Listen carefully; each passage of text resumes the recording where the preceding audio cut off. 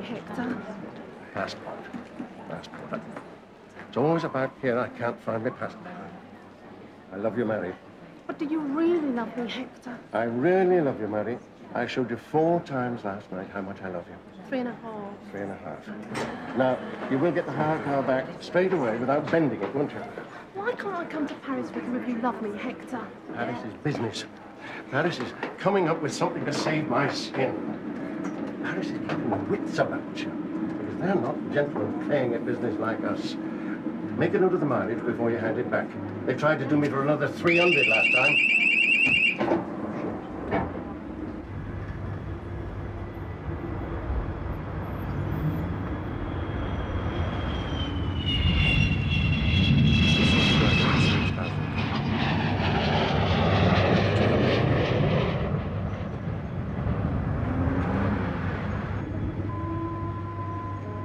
Somebody else in Paris, have you, Hector, even though you say you love me? I'm genuinely shocked. Other men do that sort of thing. The dent in the near side wing was definitely there when we picked it up. Don't let them try it on. Do you know what I'd do to you if I thought you were lying to me? I'd cut them off you, chop them into little cubes, stick them onto skewers, and invite her to a fondue party. Are you listening to me, Hector? Hey? Listen to me when I'm threatening you. Connie's back.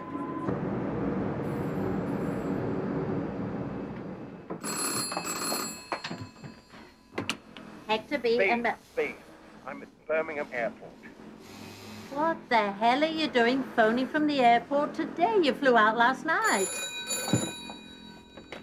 Hector B. and Madam B. Fashion knitwear, baby B. Infants and children's wear. One moment, please. Charles de Gaulle. Huh? Charles de Gaulle fogbound.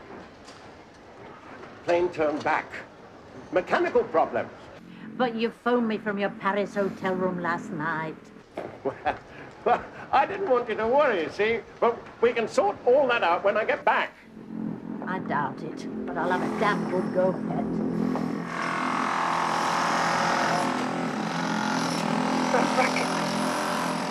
What's the racket? They're drilling out the knitting frame we skipped the payments on. Ah, That frame. The one you said we could cement in and they'd never go to the bother of ripping it out of the floor. they're bluffing. Ah, ever the optimist. You'll ask for a second opinion as the crematorium curtains are closing. Thank you, dear. She's back. Connie's back. But that look on her face. She is in Greece. Retired from business. That was the deal. Now you get on that plane, sober up, get some bicep, and think of the pack of lies you're going to tell me about last night. And Hector. Despite it all, I'm just as crazy about you. You sexual hooligan, you.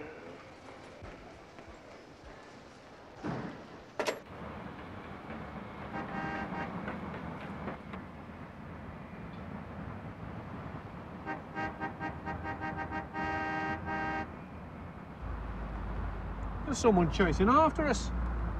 Madman. Airports are full of them. Put your foot down.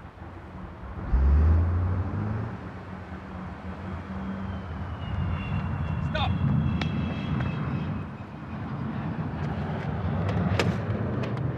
My car, I think. What would you do if you got back home with ten drachmas in your pocket? Not that I have to answer that question. This is the car that Spriggs, Bowser and Comer sent for me. Yes, I'm not I- blaming you, driver. I'd phone a friend to help out. I've been away for eight years. The address book would be out of date even if I kept it. I'd phone family. And admit that I've got ten drachmas to my name. Then I'd try the social security people. No, Tom. What do you do? Pinch the limo that Spriggs, Bowser and Comer sent for their smoothies. It's no skin off your nose. The company would always send you another car. Spriggs wouldn't, Bowser would. If Bowser wouldn't, you'd always tap Comer. I'm surprised more people don't try it. I'm surprised I haven't tried it before myself. I'm going to have to ask you to remove your things from my car. He's going to have to ask me to remove my things from his car. Good try though, wasn't it? You know, that jacket would look better with one vent than two. Two makes your bum stick out. My back. Your hand. All right, so I'm back with ten drachmas and a bad hand. Do you want to give me advice? You want to know all about my life just because I pick up your lousy lift at the arrivals gate? I didn't say that. I don't want to know anything about you. I have a meeting to go to. Well, I'm sorry I held you up, if only by a couple of minutes. You look like you could do with the exercise. Oh, never wear a brown belt with a blue suit. If you get a bollocking, blame it on him. He should have been through the arrivals gate faster. Will God ever forgive me for holding up the important business of Spriggs, Bowser and Comer, if only by a couple of minutes? What is their business, anyway? Business efficiency consultants worldwide. I'm so impressed. My bad.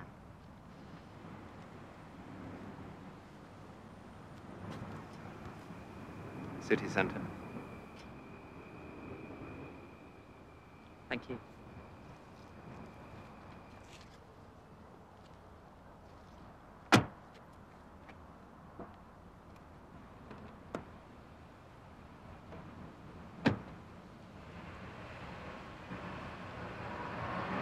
Oh, driver.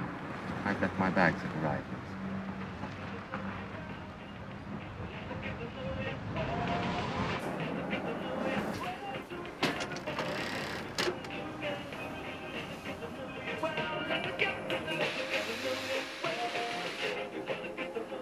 Worksheet 12. The sexual challenge. The history of fashion shows that in most societies previous to ours, women have been forced to dress down, reduce the provocative in the sweet disorder of their dress.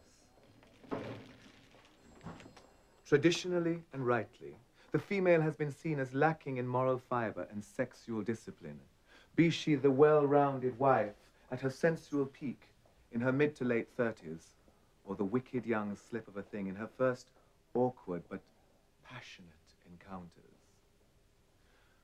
Clothing as mere covering, used not only to lower the appetite of the male, but the female too.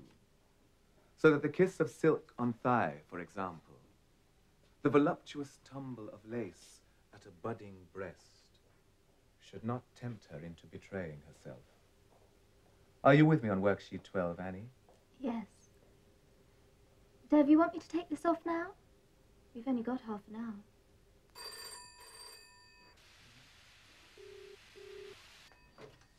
Yes?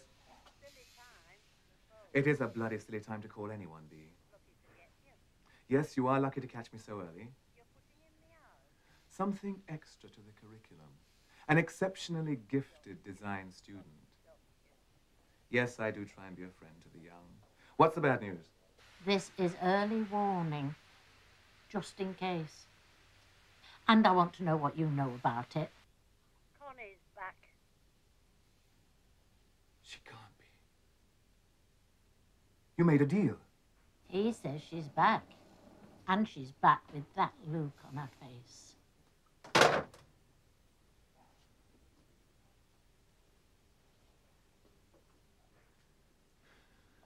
Theory of fashion. The sexual challenge. Practical.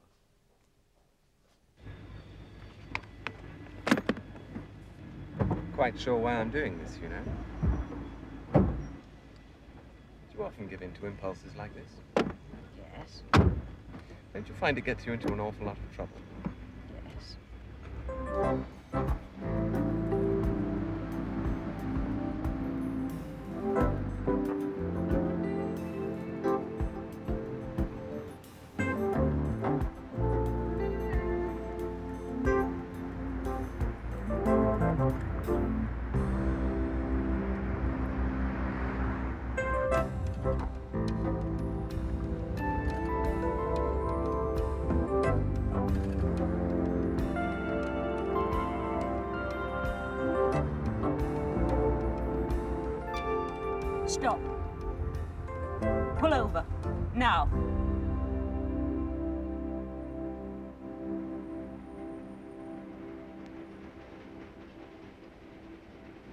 We stopping here?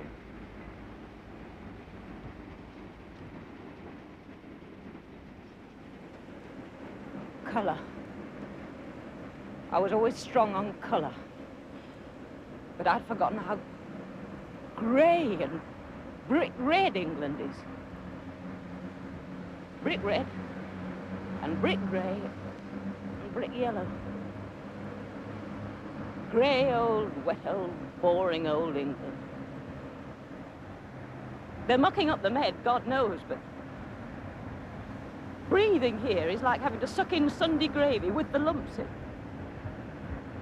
You don't want to wear so much blue. It's a favourite colour for blokes because it's a play-safe colour. It says nothing. Once a fella starts wearing it, you can't get him out of it.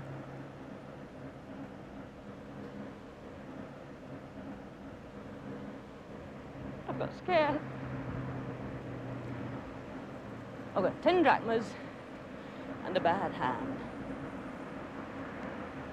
Can I make it again? Can you even work here? So near the North Pole, breathing gravy with all these brick colours. I got scared. My hand hurts. I'm on my own. And I'm starving. I haven't had anything to eat since this time yesterday. I'm scared. My hand hurts. And I'm on my own.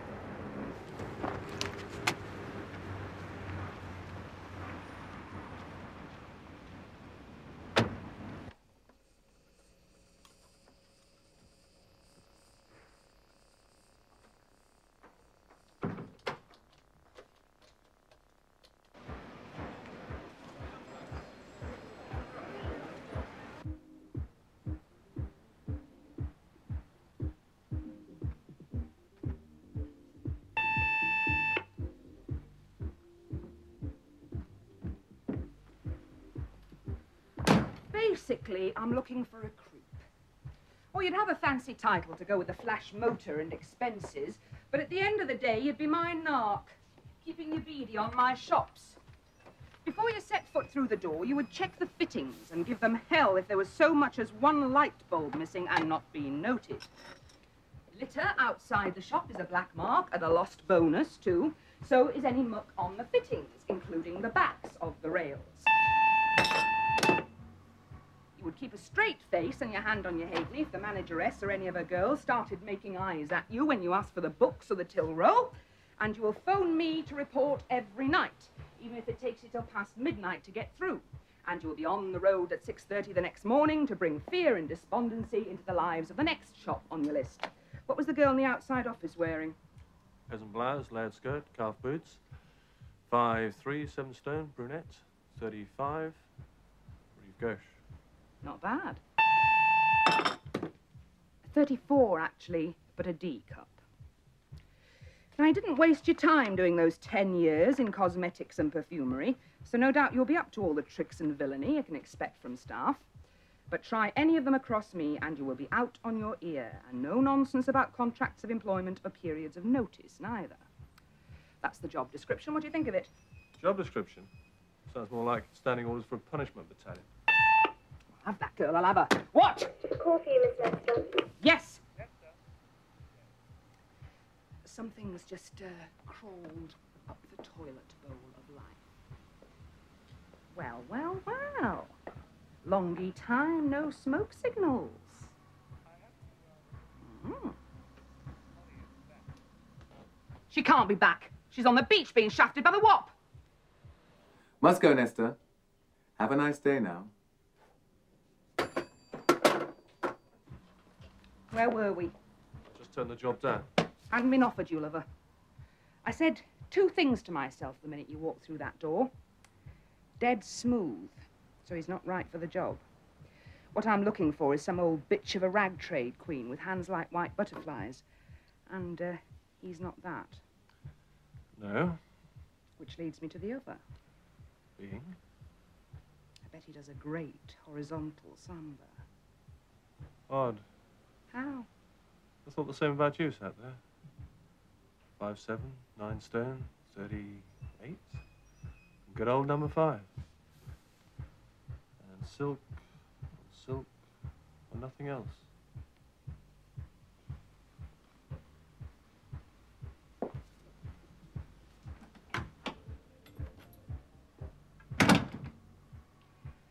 I uh, live above the shop. Care to check if either of us was right?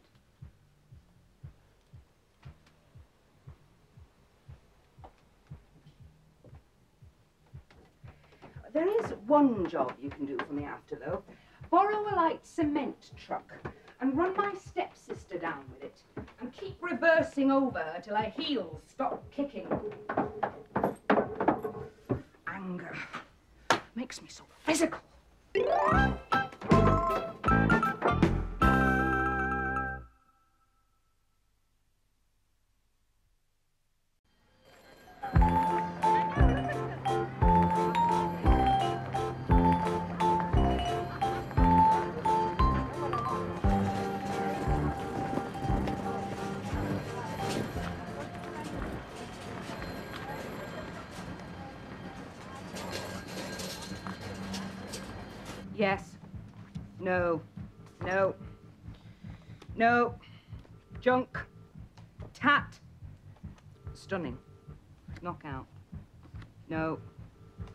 Beat it with a stick.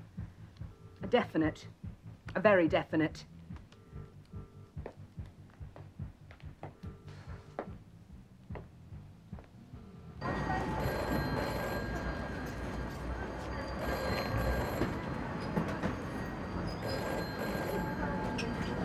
That's a Bassasella. That's nice. Oh, do me a favour. Hello!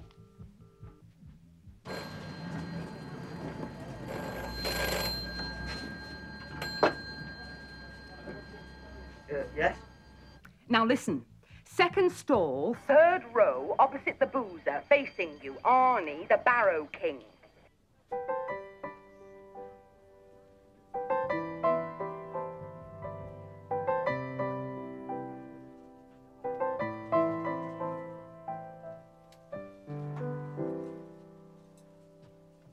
What's your game? Found a straight leg with the yellow stitching. Said you wanted a yellow stitching. Now get out. On.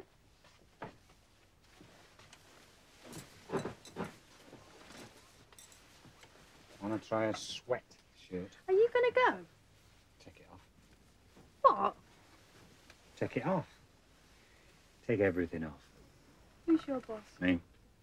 It's my stall. That's my gear. So take it off. Get lost.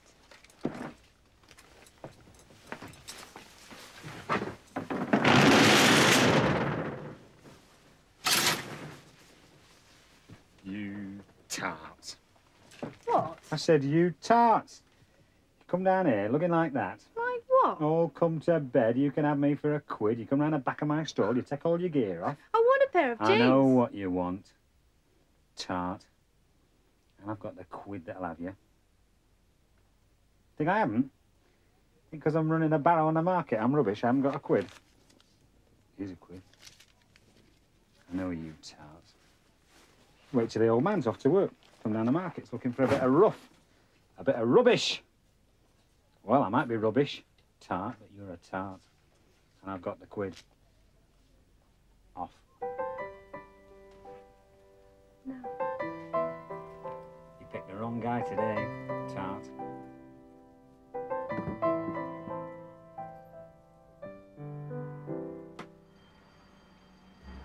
Uh, what about it? I want him on the phone. Oh. This call is costing me money. Try and get some simple thing done, eh?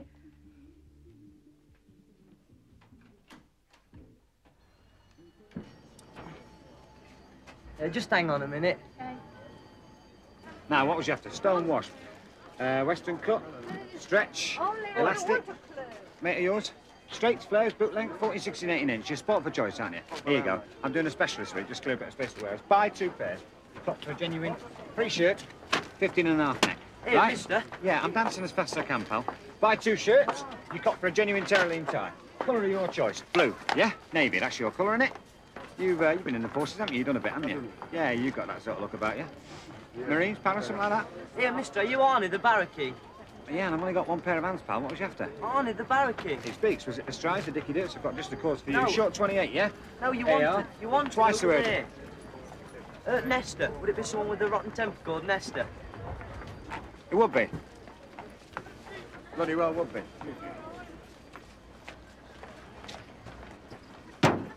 Shot.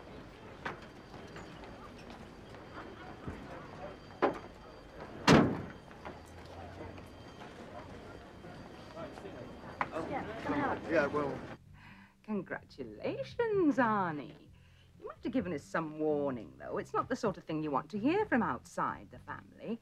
And you are still family in a sort of way, aren't you? I didn't understand a word, Nesta. Have you been on the sweet sherry again? You're good for a pair of silver-plated candlesticks, Teller. Don't bother to ask me to the wedding or the booze up after, though. I find these remarrying of divorcees way over the top. What can I say except keep taking the tablets? It's a fairy tale ending to one of the old-time love affairs and bust-ups. For everyone, that is, except that piece of jailbait you've shacked up with since you found her on the lay-by, of course. You're not saying she's back.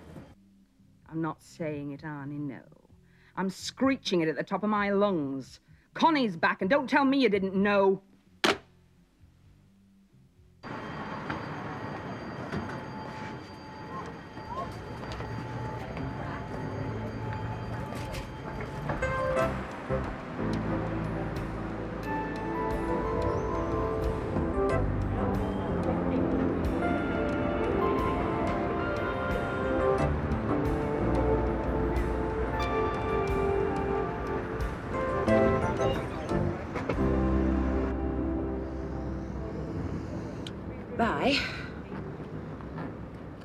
I suppose you thought the least I could do was offer you a meal.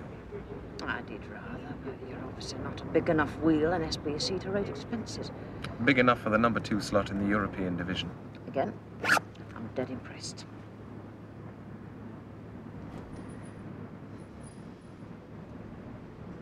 Buy us that meal. If you tell me why you only have ten drachmas how you hurt your hand.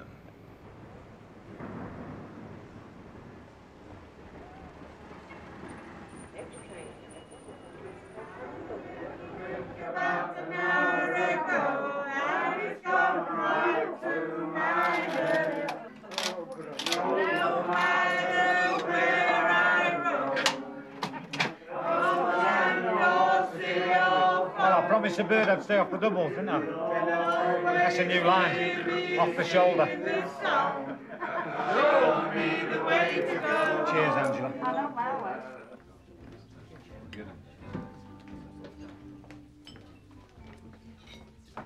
Well, some things haven't changed in eight years. Like fake French food served by fake French waiters. Pardon? I can spot a scout a mile off. What's your racket again? Making other people's business more efficient. Anybody's business. Right now, a group of private clinics. Over there. And here, at the moment. Whatever happened to the National Health Service? You really have been away eight years, haven't you? Do you always talk to waiters like that, by the way? Yeah. Much money in it? The gold rush of the decade. How'd you get into it? Business school graduate. Mm. Right place at the right time. Who reads the papers? We had a rule at the taverna. No English newspapers. We put anybody out who pulled out a newspaper. This is the taverna that I bought with my money after I was bought out of the firm I'd built up. The taverna in which yesterday afternoon I found my bloke, Giorgio, the bloke I had bought the taverna for, on a tabletop with a windsurfer. Well, I was surprised. Not surprised that he was, if you follow me. Surprised I've been able to catch him at it. It's boring. Only mildly. He did ask. Didn't have to be a taverna. I said he could have his pick. Water ski boat, the Pedalo concession. he was interested. Well, you get to meet a lot of topless birds, don't you, and touch them, but boats mean work, and that's never been his style. And anyway, all the topless water skiers and pedalists are going to drop by the taverna at some point in the day, aren't they? A hand. I tuned him up a little. And her. And then I grabbed what I could and ran like hell. You must have kept in touch with um, family, friends. Friends. Friends, what is this quaint expression you keep using? I know acquaintances. I know business colleagues. I know people I'm taking for a ride, or taking me for an even bigger one. Lovers I know. Enemies I know.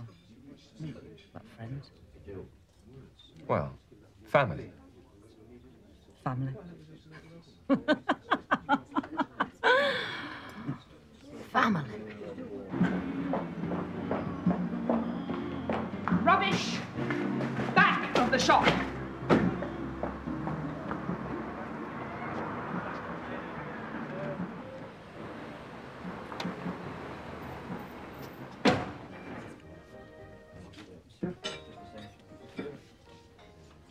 What were those phone numbers doing on the menu? Prices? I'm gonna need a job. Why don't you get me a start with Spriggs, Bowser and Comer? You're looking well on them. What are you good at? Fashion. Knitwear. I ran my own chain. Built it up. Ran it. Had it robbed off me by family, but that is another story, and that one is really boring, not just mildly boring. Well, I can't actually see where we would fit you in. But if we ever need anything hijacked, I'll give you a call. You don't believe me, do you? I did it once, and I can do it again. There's not the money around these days. No, not the money around. Oh. As the bloke who put these prices on the menu being told that. That fella there just put a tenner down his throat. Him. Let's say what's been happening since you've been away is that if you've got it, you've got even more of it. If you never had it, you've got even less. The rich get richer and the poor just get it here. But things are all right and hunky-dory for smoothies like you on the firm's magic plastic. And their freeloading companions. I'm a working girl. I'll pay you back every mouthful. When? Right, that is it. Okay. How about this afternoon? Oh, I never took you for a quickie in a flea bag hotel soul. I'm not. And I do have a meeting in two hours. 90 minutes. And you're married. To exactly the right woman. Shall I tell you something? Do. Never wear stripes with checks unless you're looking for a job in the service. Oh, do you know what I miss most? Do you think I dare ask for brown sauce in a bottle? Yes, I do.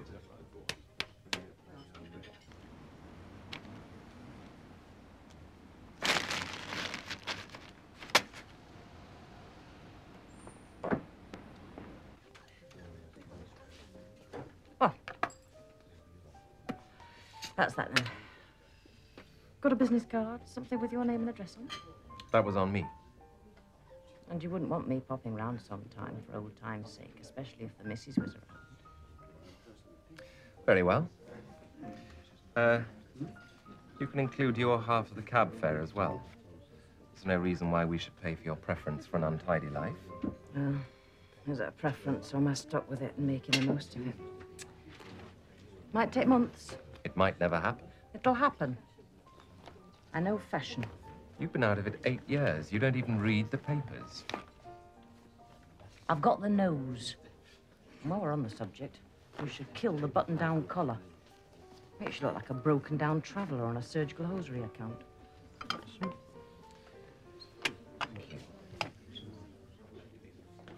Is having the nose enough? Was before.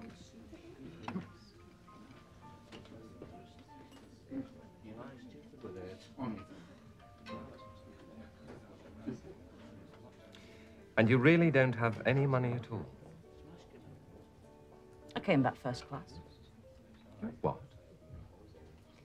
I'd have been able to manage if I hadn't flown up front with the white folks. Well, wouldn't you rather be dead broke in first class than just hard up in second? I've never been either. And I don't intend to be ever again. As the lady said, I've been rich and I've been poor. Believe me, rich is better. Well, I uh, do have a meeting. And even number twos in the European division have to run. let alone dutiful hubbies who have married exactly the right woman for their career. I'm not complaining. And I'm not complaining either about finding my own way back. With a bruised hand and only ten drachmas. Oh, just the hand. Merci, monsieur. I'll see to the tip.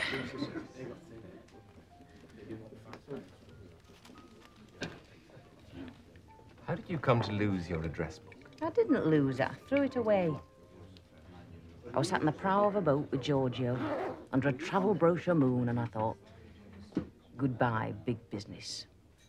Goodbye, wet old, dull old, boring old England. Goodbye, the old Connie. Hello, the new. Connie.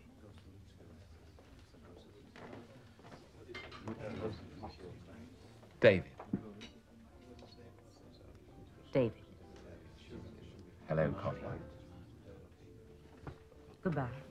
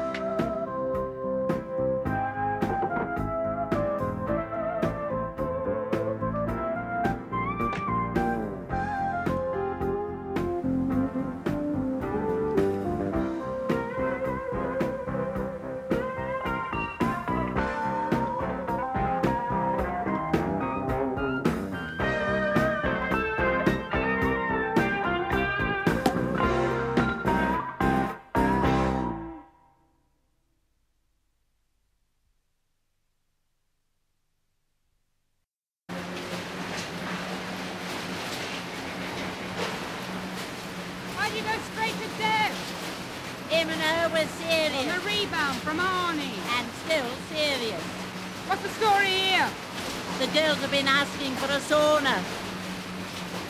So we took a frame out to oblige. What do you think the story is? We hadn't kept the payments up.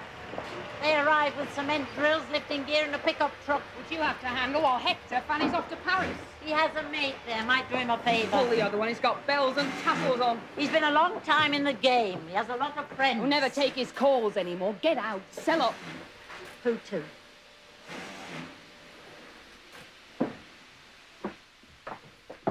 Is that why she's back? You wanted to save your skins. The first I heard was when he phoned me from the airport. Then he's asked her back. He wouldn't go back on the deal.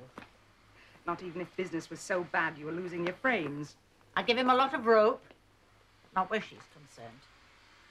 Could she have come back on a jack? Looking for a way in. Loaded with all the money that Taverna's been making. Was it her he saw? Could he get it wrong? His own daughter? It's been eight years. People change. Could he mistake that look? You know the look we're talking about. I know no one's ever got the better of her when she's wearing it. Take warning, Mother dear. If it is her, you come down on the side of the family. Screw Hector, screw the business. You're in with me.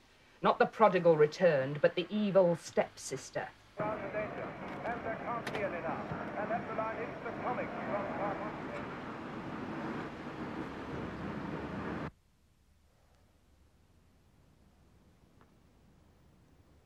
I shouldn't be here. I really should not be here. Nor me. Just about now, I should be having something light on the roof, under the vine. No.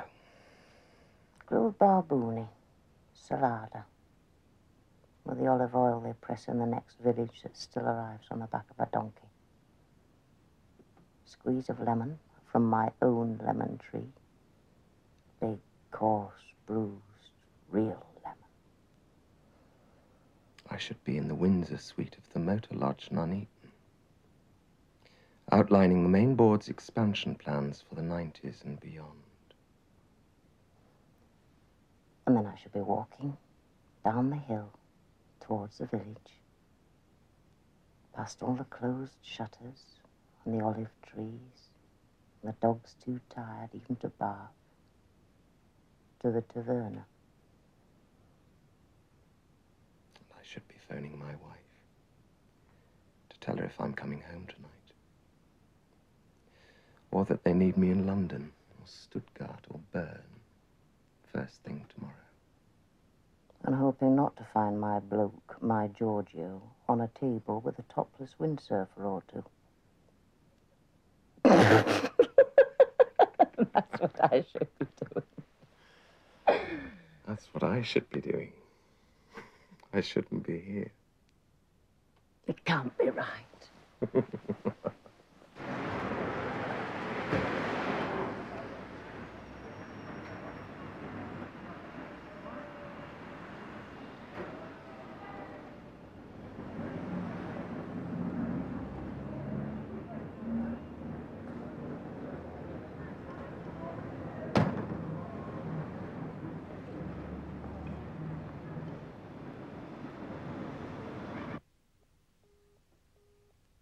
Are you a good liar? Done a fair bit of it. You? It's my business. Like a guy I used to know used to say, it's all about deception. Don't kid yourself. Because every time you put something on, you're saying something about yourself that isn't true. Or something that is that you don't want the world to know about. And that was a clued up guy. And did he leave a girl with a ringing in her ears and problems with tying her shoelaces after? And did he carve me in here when he carved me? I owe him. What do you mean you owe him? He carved me. I'm going to carve him. Do you apply these straightforward, not to say savage dynamics in your business as well as your personal life? Too true. Is that how you carved out your little empire before? Not so little. I was doing a thousand miles a week, 18 hours a day. I was cracking up. I was talked into letting my stepsister ride shotgun for me. Came the day when I was looking down the barrels of the shotgun. Is she going to get carved? Got it in one cashmere kid. What'll she do when she knows you're back? I wonder. I can guess.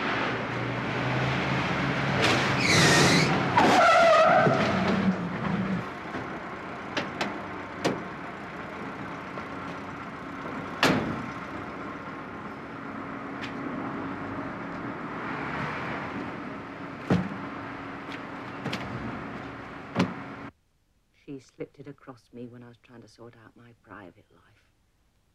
For which read Arnie.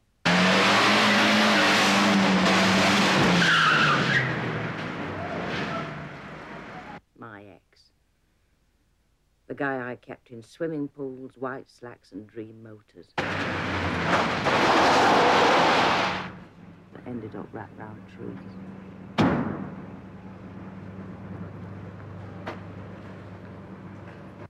Arnie sells. He likes selling. He is not so hot on the buying, though, which is why I hear he's down to running a barrow on the markets now.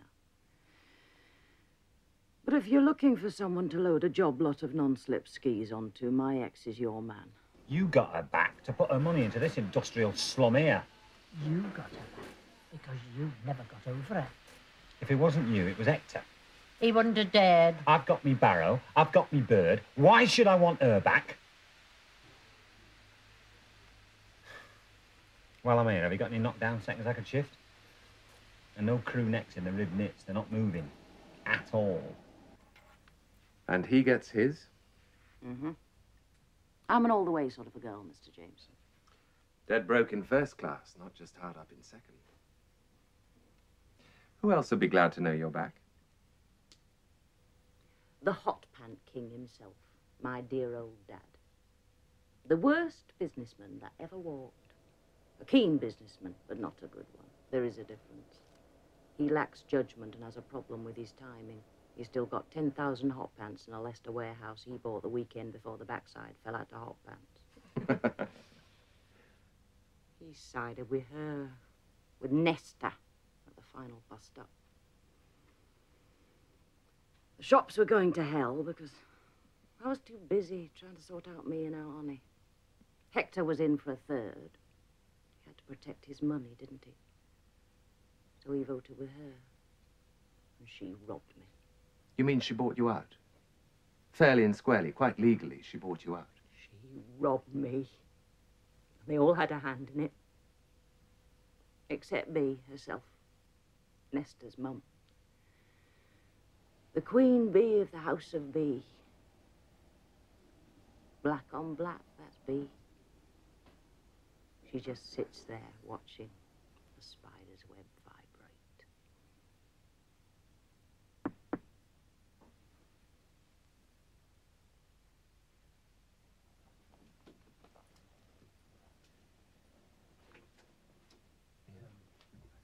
Oh. Um, thank you.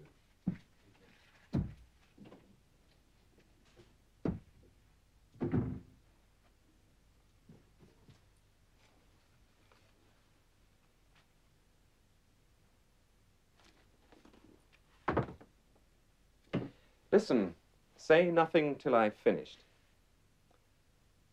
I'm not an impulsive, irrational man.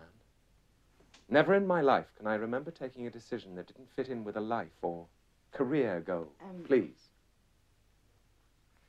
Everything's going rather well for me. All hunky-dory on the firm's magic plastic. I'm not bored with my job, or my wife, or even myself.